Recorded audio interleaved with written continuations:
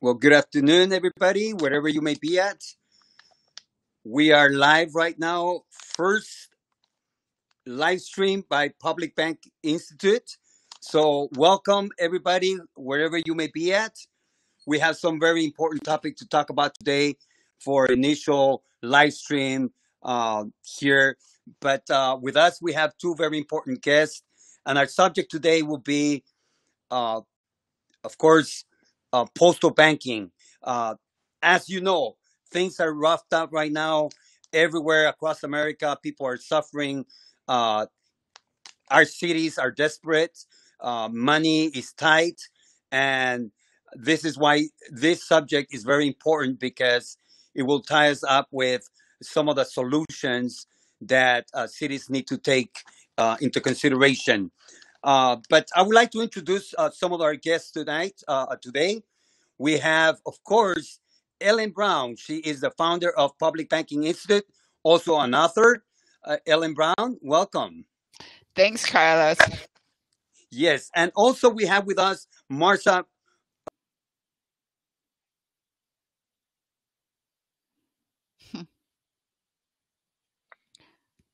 I can introduce myself. I'm Mehrsa welcome Baradaran. today. no problem. Thank you. Marissa, Yes, thanks.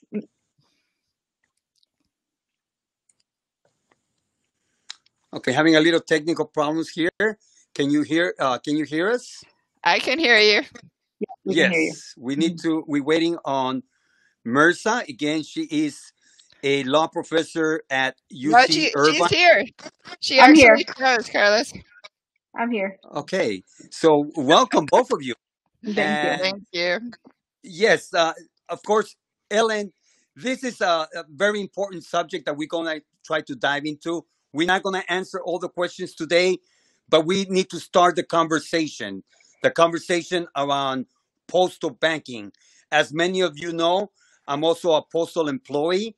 So this is very dear to me because, again, uh, right now, all the attention and all the focus is on the U.S. Postal Service. So there are some solutions as to you know how we can save the post office.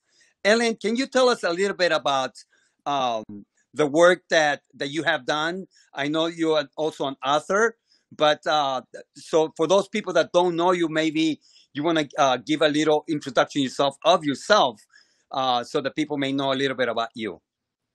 Okay, I'm chairman of the Public Banking Institute, and our goal is to get public banks, uh, state-owned, city-owned, whatever, uh, banks owned by local governments of some sort, established across the country. So we have a quite vibrant movement going right now. It was our Public Banking Institute was founded in 1911. I have written three books on this subject. Uh, 13 books altogether. So the three on this were Web of Debt, Public Bank Solution, and Banking on the People. And I've written hundreds of articles. Wow, great, uh. Uh, you has been very active, and you're also a writer. And not only that, but you have introduced a a bill that actually has passed, uh, w- along with Marc Armstrong, which also is one of the powerhouses of public banking. Can you tell us a little bit about some of the work that you have been doing over the years? Um, sure. Yeah. So uh, the bill, I mean, it, it's passed. Uh, it, uh, Congress um, has passed, not not Senate. There hasn't been an effective bill, and you know, it's been with the help of a lot of the members of the congressional staff. And But again, for some um, reason, I cannot hear, so I'm hoping that uh, okay, is can you hear me, able, Ellen? uh, is she Yes. speaking. Okay. right now? Yeah, Yeah. Yes. Okay. Okay. You let me know Um, when she's uh, through, please. yeah. We okay. can just talk to each other if you like. Yeah. Yes, that would be great. I mean, okay, take it away, Mehrsa. Okay. Yeah. So the idea is, you know, as uh, piggybacking off of uh, um, Ellen's uh, public banking work, is to use the post office, um, the footprint it already has, and and I actually should say that to, it's it's a it's a um, a revisal of an idea that was already in place for many many years in the United States and abroad.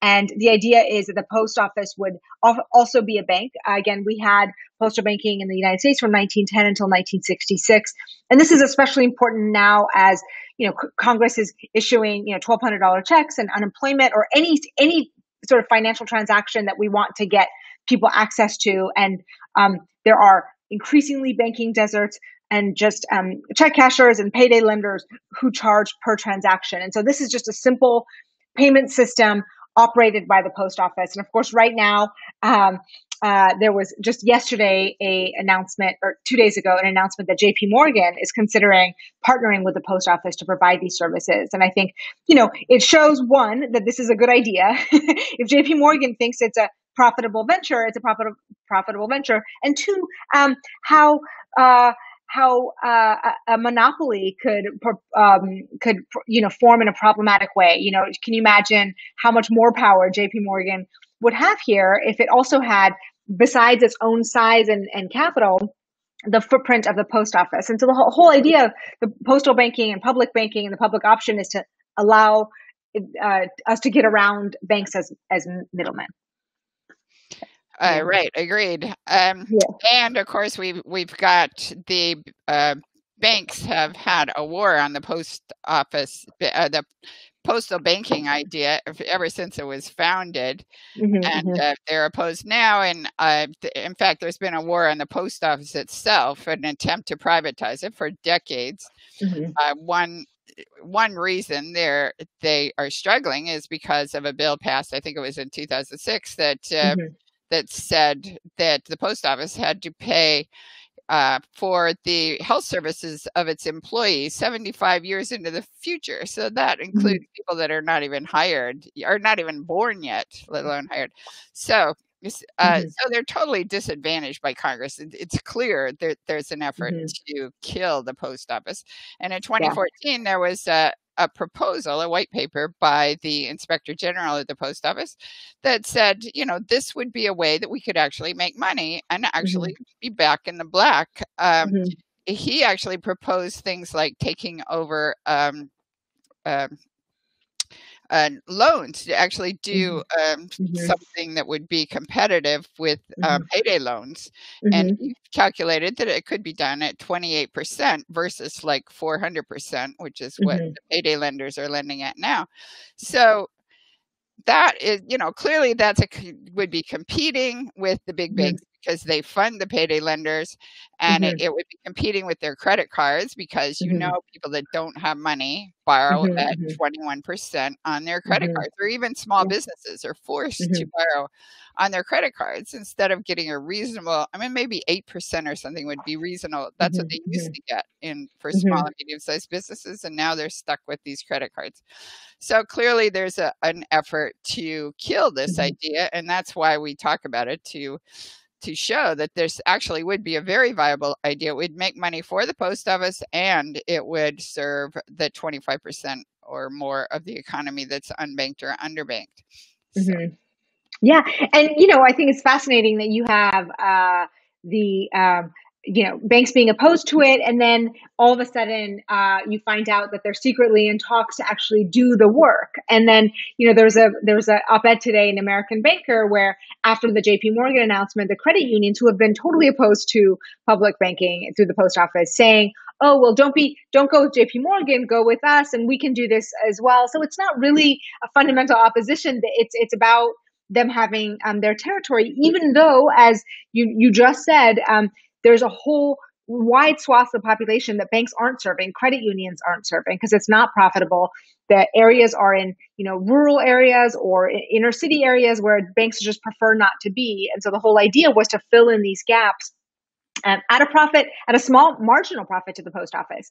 And uh, actually, on that note, David Williams, who was the author of the that report that you just mentioned, the Inspector General report, was um, testifying yesterday. He was um, appointed to be on the board of directors of the post office, actually, and trying to get this through. Um, the unions uh, selected him, and he resigned um, because, um, as he revealed yesterday, um, that the Treasury, especially Steve Mnuchin, was very much involved in trying to kind of defund the post office and and get the postmaster general general out and get this uh, Trump donor in. And so he he kind of resigned out of that frustration and protest.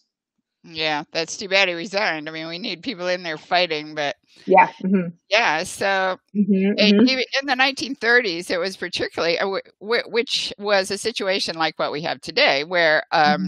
you know people were out of work and desperate and the banks themselves were bankrupt of course they're not bankrupt mm-hmm. now because we mm-hmm. underwrote mm-hmm. them but what mm-hmm. uh, the roosevelt government could have done in the 1930s was to support the uh, the postal banking system. So we already had mm-hmm. a public banking system, and it was mm-hmm. all all across the country. We had post offices all across across the country.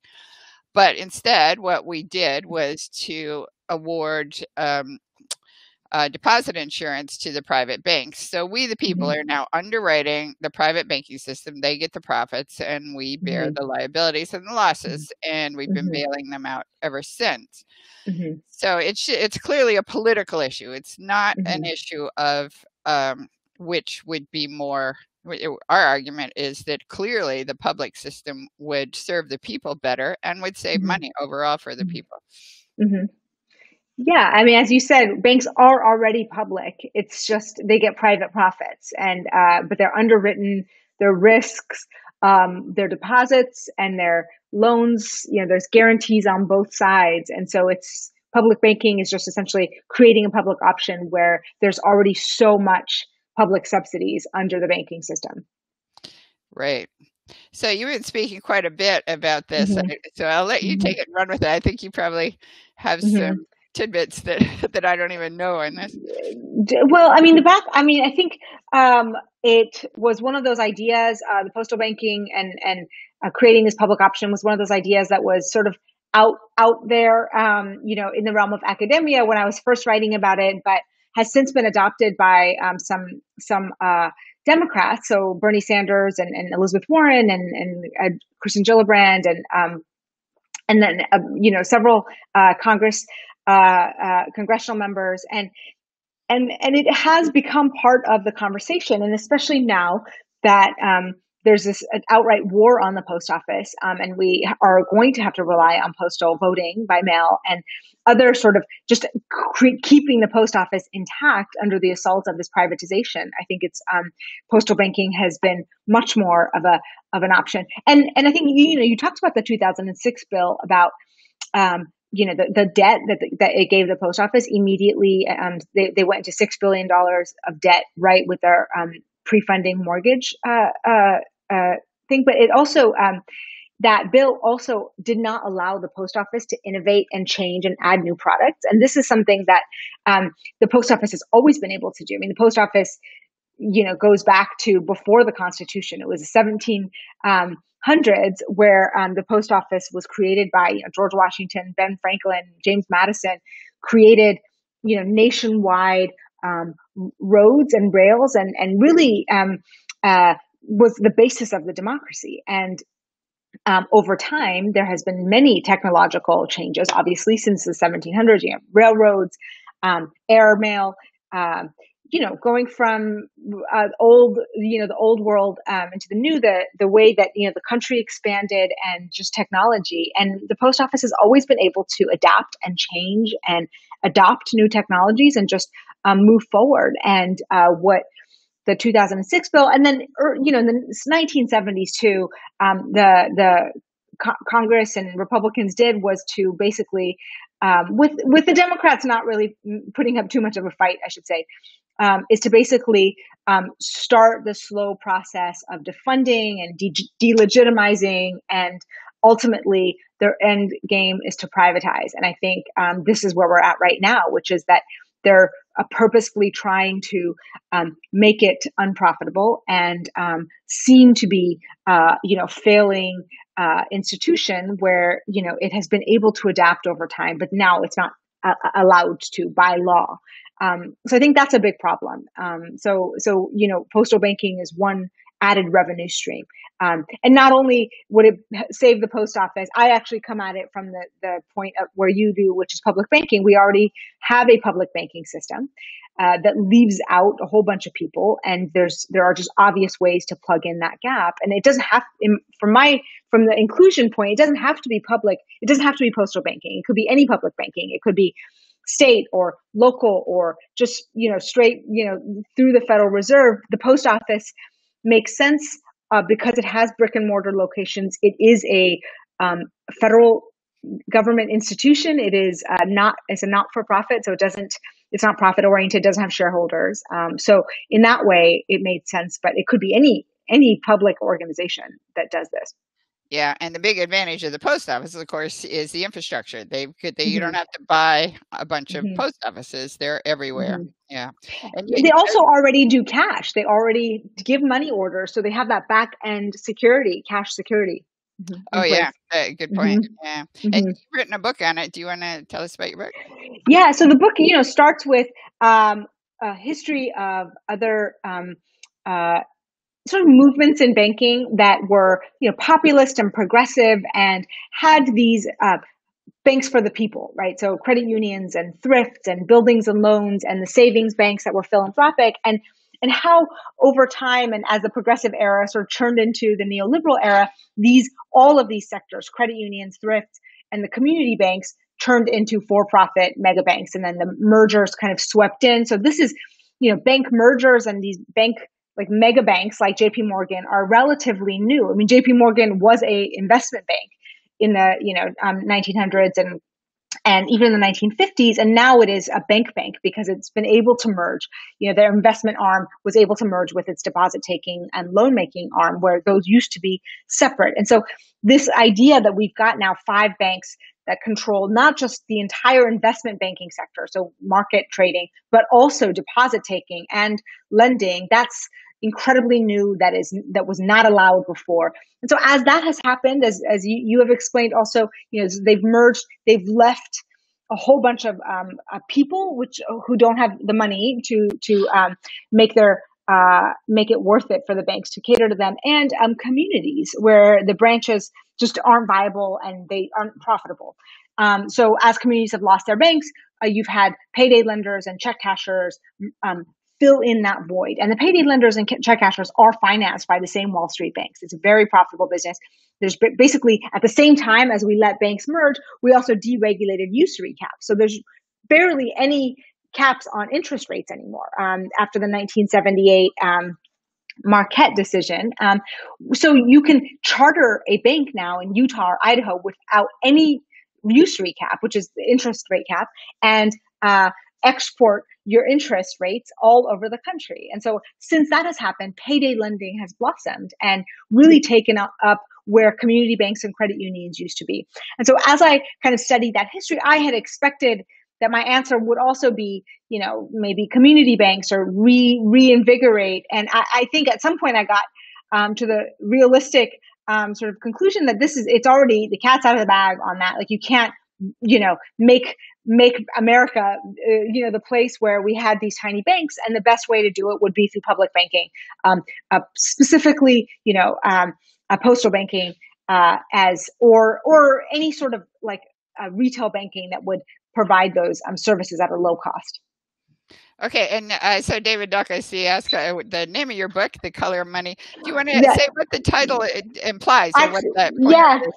Actually, the, the book that I wrote about postal banking is called How the Other Half Banks um, in 2015. That's when I met Ellen, I think, early on uh, in a public banking panel. So, so my book on postal banking is called How the Other Half Banks, and it goes through that history of the credit unions and savings and loans and, and the payday lending, the rise of payday lending, and then ends with a proposal for postal banking.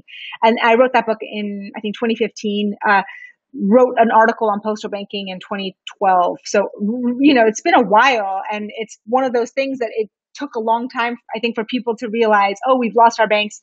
And by the way, since the financial crisis, it's gotten worse. You know, there's more communities now without a bank than there were even 10 years ago. Um, the second book is called The Color of Money. And that, that, that book is actually quite different. It's about um, the racial wealth gap and um, the uh, black banking sector and how that segregation patterns have, have really um, uh, affected the ability of black banks. And, and I wrote that book to actually demonstrate kind of using one example how about how banking um, is federal, right? If you look at or, and federal and public, if you look at black banks and, and the way they've been left out of this entire federal loan structure um, early in the 1930s until ba- basically the end of the civil rights era and even till today, you really see how you can't have banks outside of that system creating wealth and providing access to communities if they're not plugged into the federal um, Federal Reserve, uh, the FDIC insurance fund, and all of the the sort of you know, wealth creating loan programs. So yeah, and what, what we have it's so obvious right now. We've got two two economies. We've got the mm-hmm. financialized mm-hmm. economy and the real economy, where the unbanked, mm-hmm. the underbanked, the small and medium sized mm-hmm. businesses yeah. trade, and the and the financialized economy has mm-hmm. taken over the mm-hmm. deep pocket of the Federal Reserve. I mean, they just printed trillions of dollars to bail out the stock market and the big corporations. But when we, the states, have asked mm-hmm. for some portion, we wind up with a, a loan. Uh, well, mm-hmm. it's the, the special the special purpose vehicle that mm-hmm, mm-hmm. lends at a penalty, mm-hmm, like mm-hmm. mar- market rates plus a penalty. So that's what yeah. we get. Whereas the banks get to borrow at zero point two five percent. So that's why yeah. I think we need our own banks. We need to get into that system so that we, the states or cities, can also borrow at zero point two five percent. Yeah, and the point of, of, of, supporting banks is that they'll pass it on to their customers, and and they're not right. They're actually just enriching shareholders, and so uh, why do we need a middleman if they're not actually serving us or passing along these savings? And the whole point of all of these subsidies that we created was this: that banks had this duty, and there was a time where they actually did do their duty because they had no choice. Right? There were interest rate caps and lots of regulations, and now once we deregulated we they don't have a duty, and so they are going to keep all of the monetary policy goodies that they get and the the uh, guarantees that they get, and then choose their customers. And so, absolutely, public banking is uh, is a way for us to just kind of equalize the playing field. Yeah. Uh, so in, in March, when the Federal Reserve changed the rules on the banks mm-hmm. and, and they're let all banks uh, borrow at the discount window, no penalty, virtually for free, and mm-hmm. uh, got rid of the uh, the reserve requirement, et cetera. And their their reasoning was that this was supposed to help because the businesses mm-hmm. were struggling, you know, the small mm-hmm. mm-hmm. businesses, and this would help mm-hmm, mm-hmm. lending. That lending wasn't happening, and this would encourage lending, but it hasn't. They mm-hmm. haven't passed, like you say, they haven't passed on those benefits, and that mm-hmm. obviously was not the real reason. The real reason mm-hmm. was to bail out the Fed itself, which mm-hmm. was bailing out the banks through the repo market, and that it was getting mm-hmm. really expensive. So they said, "All right, yeah. come borrow yeah. from us directly." But yeah, yeah. we all should be able to borrow directly from the central bank. Mm-hmm, mm-hmm. Yeah, and we should, uh, you know, because we have, uh, you know, the FDIC insurance system and all of these systems that that are for depositors and for you know the, the loans of lenders and um, banks were supposed to be stewards of both both sides of that both the deposits and these loans and now they're just doing much more than deposit taking and loan making and so their interests actually are in the bigger deals and you saw this with the ppp program right so you have this program where congress says we've you know billions of dollars and all you have to do actually is just process these applications um, for small businesses. And the banks just didn't they the big banks refused to do it for um, customers that they didn't have outstanding relation or profitable i should say relationships with because they didn't even do it for their small customers. And to the point to the customers that they did do it for they only did it if it was worth their while. And so i think this is it was like a microcosm of the the general problem with banking writ large which is that you actually have this government program that's supposed to like go through banks as a middleman and the middlemen get to decide who they give it to or not. I mean, the money's coming from the government. The businesses are supposed to get it, and the middlemen are just like actually causing problems and seeking rent from both sides. Right? They're like, we won't do it. The first, you know, uh, the first congressional uh, ask was, you know, will you do it under these circumstances? And they're like, no. And then they got what they wanted from Congress. And then on this side, they still chose their customers. They still chose who they were going to give these loans to. And so I think that's exactly kind of highlighting the problem that has been over the last several decades, which is they they get these goodies and then they get to choose who they give them to and and why why are we doing this why not just cut out the middleman yeah and you can see the same thing if i can switch mm-hmm. subjects with the vaccines where the vaccine yeah. makers said the government said we want you yeah. to make vaccines yeah. and they said well we can't do it because we can't make a safe vaccine and so you know the liabilities are too great mm-hmm. and so mm-hmm. we're not going to do it and so the government said okay we'll take the mm-hmm. we'll bear the liabilities so mm-hmm. here we are paying mm-hmm. for, I mean, the, so mm-hmm. that allows the drug companies to make, they don't really have to put money into even safety yeah. tests. I mean, they do a, a minimum minimum for show, mm-hmm. uh, but it is about capitalism in general. That it's all about yeah. making profits for the mm-hmm. investors, and if they can cut corners they will and if they make if they can make Mhm. shoddy products and get away with it they will and in Mhm. many cases we're talking about lives and you know Mhm. the health of the people and the livelihoods Mhm. of the And, and exactly right. And I think this gets to the bigger problem uh, that which we started with the post office. This idea that the, the like neoliberal or whatever kind of um, market fundamentalist idea that public markets can do everything better. And what you see with you know the post office and banking and vaccine making and healthcare is that private markets actually need you know they'll they'll do rent extraction or they will actually um, serve the needs of profits as opposed to people. And there are some things that the public just does better public institutions public banks public um, vaccines. So I, I actually do want the government to be making vaccines um, because if we're taking the risks anyway the government has to um, issue the sort of you know uh, the fda has to do the protocol and then they're going to be the ones that underwrite the production and all of the stuff. Why not just also make decisions, right? Why why does Moderna? I mean, you know, we're still using the scientist knowledge. It's just through government grant making. We do a lot of things like this, but there's just like this myth out there that that private competition is going to make better ish better things and with some markets that doesn't work um, maybe in some things it does right certainly there's some products where you want people competing but they're not essential to our lives you know? Um, i'm fine with sort of capitalists competing about who makes the best like water bottle right? And then like whoever wins i'll buy their water bottle and i'll pay a premium because it's like the best water bottle ever. But if we're talking about like healthcare and just access to like you know banking or mail um, the government just has to do that because otherwise the competition will leave out people who are not profitable. They're just not going to sell to you that good because you're not you don't have enough money and we as a society just can't can't have that in certain markets right Yeah, and so and in banking, we now know that banks actually create our money supply. So we're giving Mhm. away this power Mhm, and mhm, they do it for profit and they only do it for profit, but they're making a profit off the full faith and credit of the United States. I mean, the only reason they can do it is they're backed by the government. They've got the deposit insurance, et cetera. And it's the same thing with healthcare that uh, they actually have a vested interest to mhm, not having people be healthy. You know, they're, they're, the real ideal for the drug companies is mhm, mhm, somebody that has to take their mhm, medicines for 30 mhm, years or whatever, you know, keep them barely alive, but put them on a lot of drugs, that sort of thing. So it's just, they're, like you say, they're, I mean, I read somewhere that all, all countries are 50% private and 50% public. It's just what you put in the public sector. And Yeah, yeah, right. And and we've decided over time, you know, we make mortgages, you know, we let mortgages be public essentially, where the public has to just underwrite the mortgage market and then all healthcare is private. And the problem with private healthcare, as you said, is we actually don't negotiate. We can't pick the best option. We can't pick the lowest cost option, which is what how markets work, but it's like the worst of markets, right? We get the the companies that are just out to make a profit and we actually can't choose. So it, it doesn't make sense, right? yeah, yeah, the whole insurance thing is Mhm. Yeah, we have no we have Mhm. no leverage over that. Yeah, I Mhm. agree. Mhm. So, what do we do about it? I mean, I'm always I you know, I always try to write something at the my- end of my articles, you know, this is the Yeah. solution, this is what we can do. But now we are in such a Mhm.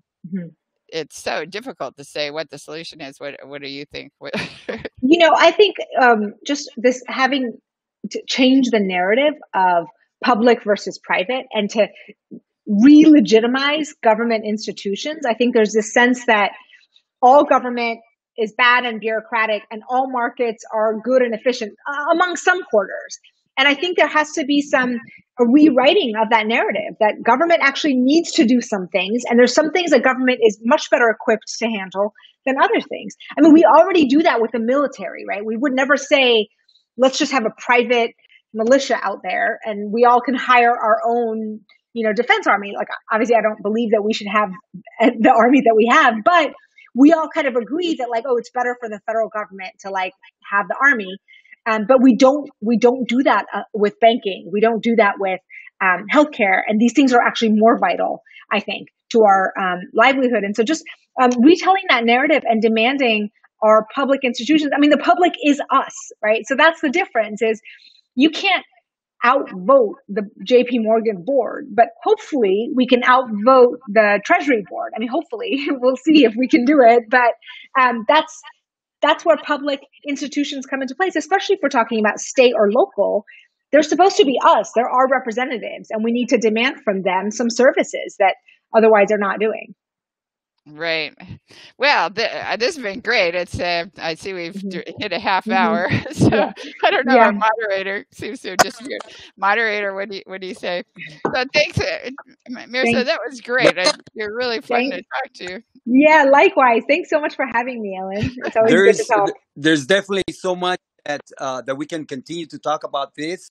Mhm. Uh, it's a great start of the conversation for many people that are just turning in now. You know, um, and some of you perhaps this is the first time you hear about public banking, postal banking, and uh, how it relates to the current issues. I think it's going to be very important for us to continue this conversation, to educate the public, to educate ourselves, because the answer right now to a lot of the problems, a lot of the financial ills, you know, that our government uh, has, our states, you know, some of the answers rely on, you know, should be on public banking. Public banking has a lot to offer, and some of the great things that you have learned here today. And we'll continue this conversation. We're going to have great guests in the coming future. And we hope that you continue to stay tuned to Public Banking Institute. We want to say thank you to Mehrsa for being with us. Thank Ellen, you. you know, you're amazing. You're a warrior.